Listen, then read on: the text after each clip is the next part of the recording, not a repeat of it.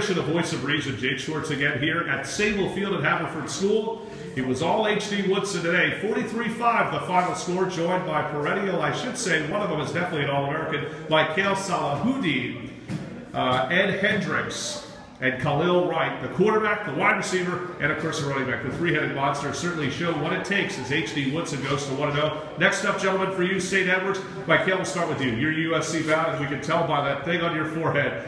Just talk about what it was like to get back on that field today. It seemed like you were ready to go.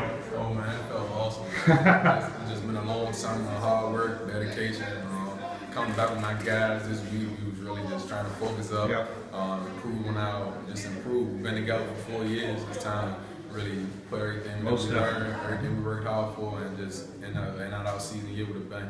Well, you had 120 yards on the ground. We'll go to this gentleman right here, Khalil Wright, two, four touchdowns total, including two in the air. And this gentleman, Ed Hendrix. Seems like the chemistry between the two of you has gone well for four years. Yep. Talk, talk about it. Would you mind talking about that, please? We've been together since ninth grade. Yes.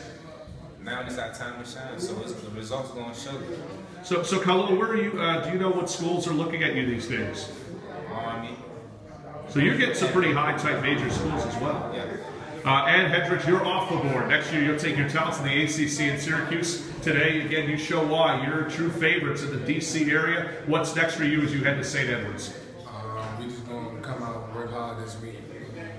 We got to be focused. We, that's the rate top in the country, so we got to come out with our heads straight on. Ed Hendrix, Mychale Salahuddin, Khalil Wright. Now, I'm going to be getting that thing wrong for a couple of uh, times. We want to thank you again for joining us again. Final thoughts, though, as you go into next week's perennial battle with St. Edwards. Um, just like I said, overall, just trying to figure out our method, game plan. Um, install day Monday, coming out focusing, just getting everybody on the same page, um, using our athletes to the best of our ability. How about you, Ed?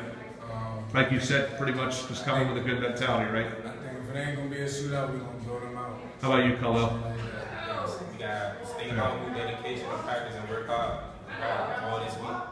Game one of the Voice of Reason's coverage of the non-Pennsylvania games goes to DC's favorite, H.D. Woodson, 43-5 over Interact Zone, Haverford School.